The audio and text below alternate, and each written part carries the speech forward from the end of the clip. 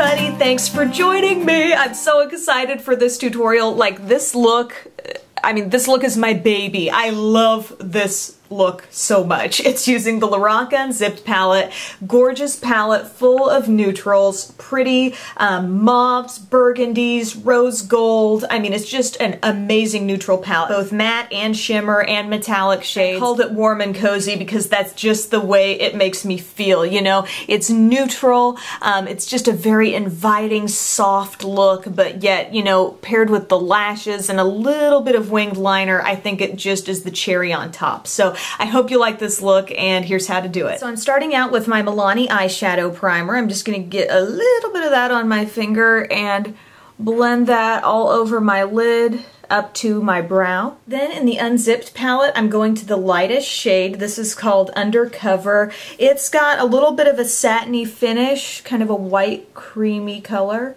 going right around that inner corner with my Sonia Kashuk small shadow brush. And then I'm going to pat that all over the inner part of my lid. I'm gonna go about halfway in with this. Then I'm going to Unbridled. This is a really, really rich burgundy, and this is a matte shade. I'm just gonna start patting that on my outermost corner. Oops, didn't have it on the brush there. There we go. And pat it on the outer part of your lid and then bring it in and kind of start to overlap that white. Then I'm going to flip my brush over and I'm using that same burgundy shade and I'm wedging it right in my crease so I get, you know, the most intense deep color right there in my crease. And I'm going about three quarters of the way in with that brush. Still with the burgundy, I'm taking now a fluffier brush so I can get a little different kind of application of the color. And I'm still going back and forth in the crease with this maybe just working up slightly higher than the crease now. Then right next to Unbridled is a matte shade called Unconditional, and with that, going right over the border of the burgundy.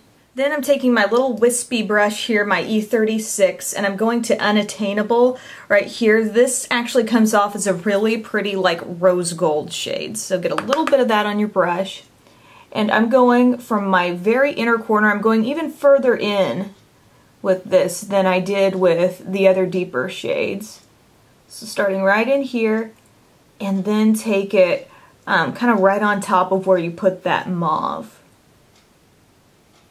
Oh, so pretty. It's like we've had a lot of matte shades working in here and now here's the glow.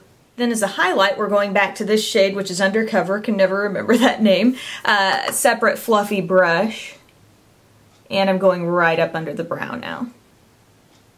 Brow now. we'll start working on the lower lash line in a second, but first I'm going to do some liquid liner. This is the e.l.f. liquid eyeliner in black. I'm going to start this right here in the innermost corner.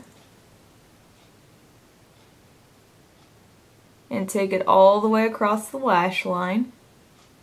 And then I'm doing just a small wing with this look. So you can see it's nothing too big, but we are going to come out from the eye slightly here. And in my waterline, I'm using my Em from Michelle Phan waterliner, and this is in Jet Black. Is that the shade? Black Night.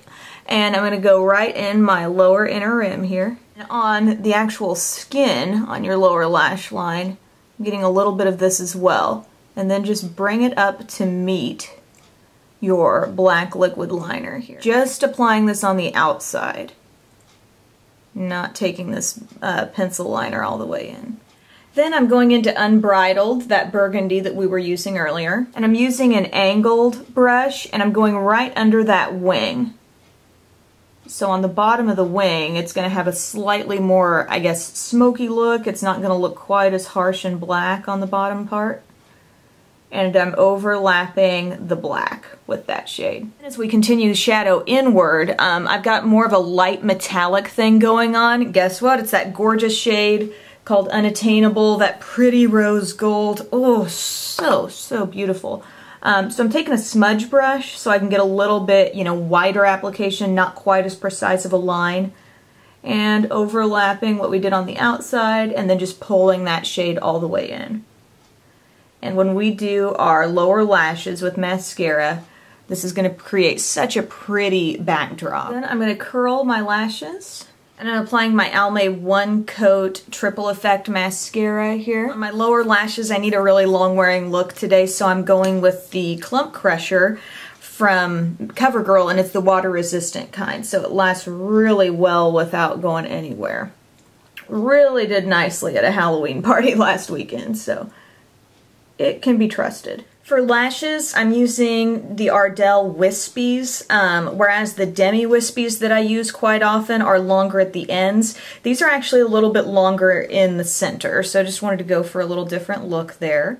For a full false eyelash tutorial, you know where to go. False Lashes 101. Placing them right on top of my eyeliner and then securing them at the outside and the inside. So that's the finished look. I hope you guys enjoyed it. Um, on my lips, I'm using the NYX lip liner in Mahogany, and I just put that kind of on my outer parts of the lip, and then I went all over my entire lips with the Sonia Kashuk Shine Luxe Sheer in the shade Sheer Pink Lust. And so this is like kind of a pinky nude. I thought it looked really pretty on top of the Mahogany for a not too nude lip look, you know, but something that would mesh really nicely with the shades on the eyes. And then for my blush, um, where's my blush? My blush is the Jordana Matte Blush in Peach Blossom. And if you want to see the entire like face routine, that's actually the same look from my full coverage radiant uh, face routine all drugstore products. So thanks so much for watching. Thanks to everybody who requested a tutorial with the LORAC Unzipped palette. It is an awesome palette, just so gorgeous.